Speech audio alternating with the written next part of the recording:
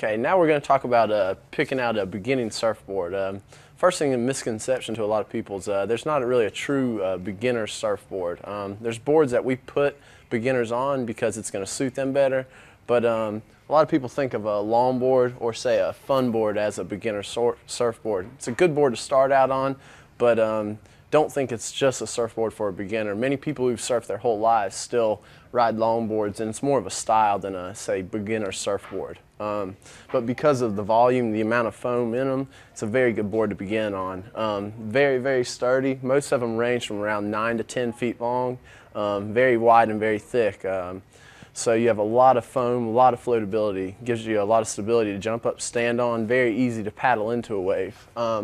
Uh, fun board also is a good board we'll put people on. Um, a lot of people, if they want to ride a short board eventually, the first thing we put them on is a fun board.